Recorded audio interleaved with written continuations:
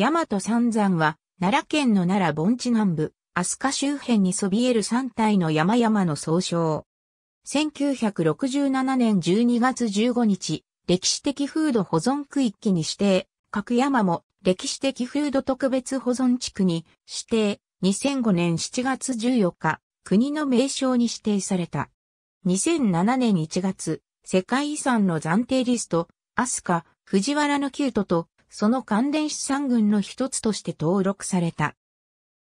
大名の森展望台より、飛鳥時代の持統天皇の頃には、宮山周辺に大規模な情報性を取り入れた、藤原京が整備され、三山に囲まれた中心部に太極殿などの宮城が置かれていた。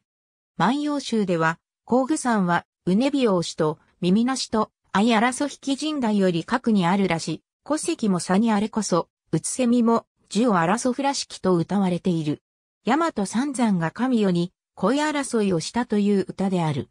この歌のうねび王氏をうねび王氏と解釈し、うねび山の神は尾神であるという説と、うねびを愛しと解釈して、うねび山は女神であるという説とがある。この歌は、中野大江の王子と弟の大天王子のぬかた王を、めぐっての恋争いを、大和三山に託したものという説もある。